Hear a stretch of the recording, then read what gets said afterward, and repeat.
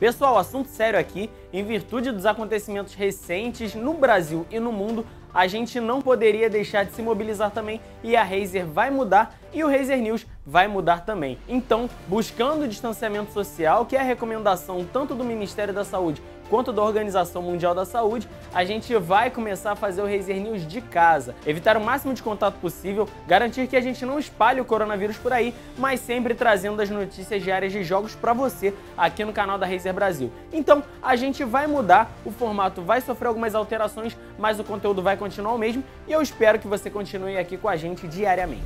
E ainda seguindo nesse assunto, mais uma produção audiovisual focada no universo dos games vai ser impactada por conta do coronavírus. É o caso de Uncharted, que teve sua produção suspensa por conta do surto. De acordo com a Variety, o filme que vai trazer Tom Holland e Mark Wahlberg nos papéis de Nathan Drake e Sullivan teria sua produção sendo iniciada em Berlim. Porém, por conta do surto de coronavírus, os executivos da Sony decidiram adiar o início da produção, que só vai começar mesmo daqui a seis semanas se tudo melhorar. Se você não acompanhou o Razer News dos últimos dias, a gente trouxe uma outra informação, de que a série The Witcher também teve sua produção suspensa. Ou seja, Uncharted é apenas mais um dessa lista gigante de filmes que está sendo prejudicada por conta do coronavírus.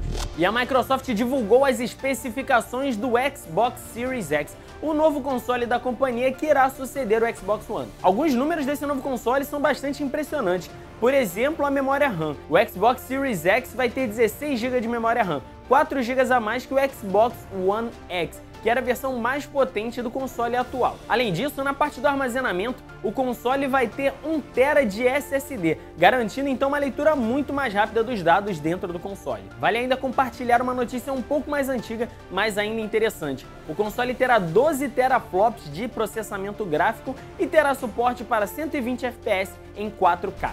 E agora uma notícia bastante curiosa, o Minecraft se tornou uma ferramenta muito importante no combate à censura. A organização Repórteres Sem Fronteiras está utilizando o jogo para guardar artigos que foram proibidos em países com ditaduras. Com o nome de Uncensored Library, que em português significa Biblioteca Sem Censura, eles estão guardando os artigos de cinco países onde eles foram banidos.